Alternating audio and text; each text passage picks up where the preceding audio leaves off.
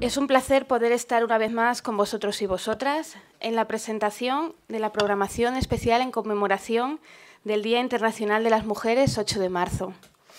El lema que hemos escogido este año y que sirve de hilo conductor a todas y cada una de las actividades que hemos preparado es Ciudadanas ejerciendo derechos, que a su vez es el nombre que recibe esta mesa que nos congrega a él, hoy aquí.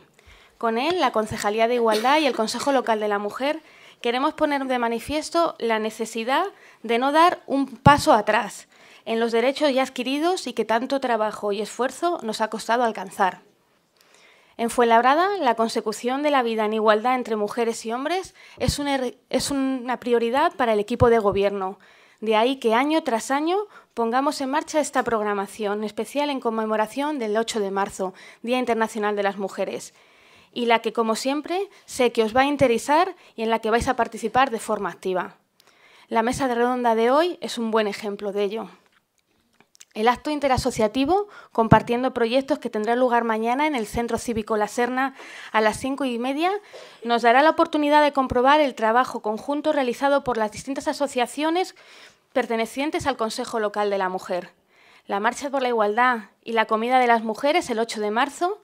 Y os recuerdo que después de la misma, este año nos vamos a Madrid, a la manifestación que este año lleva por lema ni un paso atrás en nuestros derechos. Ahora más que nunca, revolución feminista. El grupo de teatro 8 de marzo de la Concejalía de Igualdad, el día 10 a las 7 en el Teatro Josep Carreras, estrena la obra El Otoño de las Estrellas.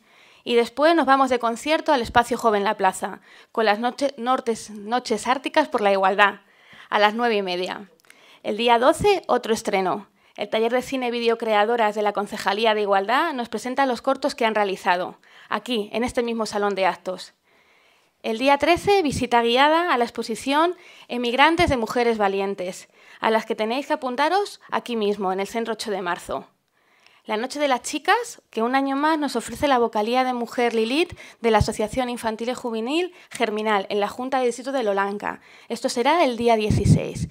Y el 23, el Festival Benéfico a favor de la lucha contra el cáncer de mama, organizado por la Asociación de Mujeres Parque Miraflores. Como veis, una amplia y variada programación en la que os animo a participar. Salgamos a la calle a celebrar y disfrutar. Y pongamos de manifiesto que en Fuenlabrada todos los días son 8 de marzo.